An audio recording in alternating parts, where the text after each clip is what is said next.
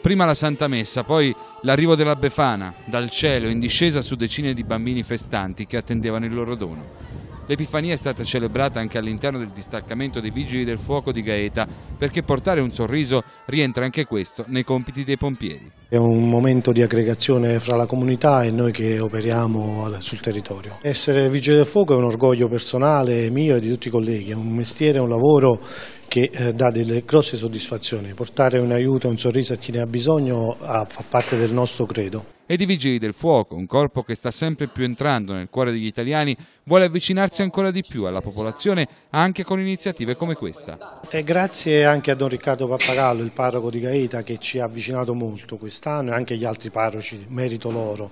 Diciamo che negli anni abbiamo costruito questo rapporto che eh, è, stato, è duraturo e quindi la comunità risponde sempre a qualsiasi cosa noi facciamo. Una giornata che ha visto molte menti ed altrettante braccia lavorare per conseguire i risultati ottenuti.